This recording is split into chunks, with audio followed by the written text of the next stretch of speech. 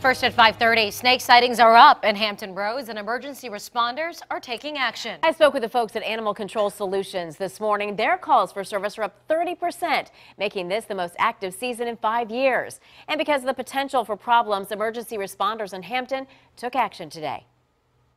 I got 955 headed to Sandy Bottom Trail. Sandy Bottom Nature Park is home to this guy, the venomous canebrake rattlesnake, one of 30 snake species living in Virginia. If you train in the worst scenarios, the worst case scenarios, you'll be ready for it when it really does happen. The park is 456 acres. It's a lot to cover when an individual doesn't know where they're at and they're just giving you clues.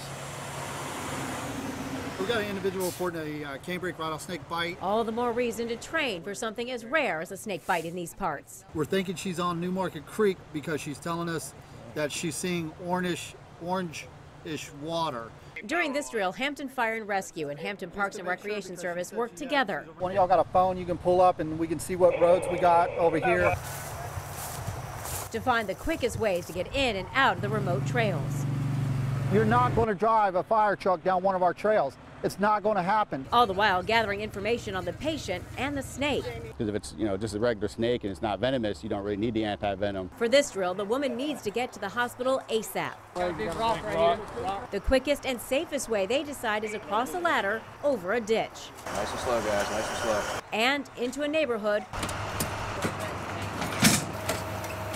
where an ambulance was waiting.